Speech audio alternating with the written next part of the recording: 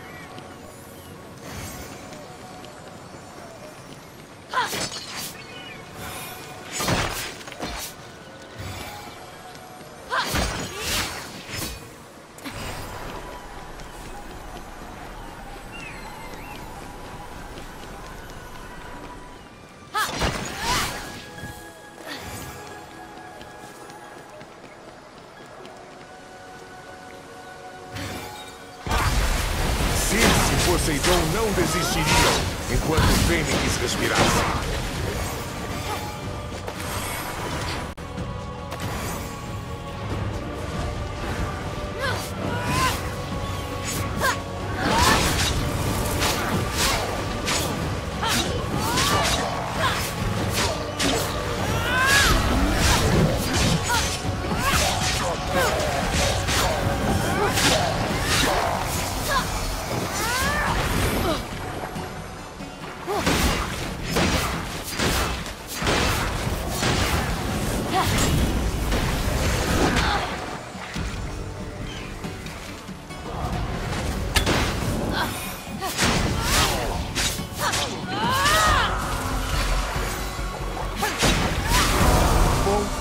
Fênix conhecia a verdade.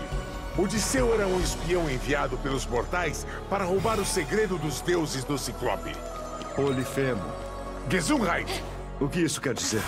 O que isso quer dizer? Enfim, Circe e Poseidon nunca deixariam o Fênix apoderar-se do segredo.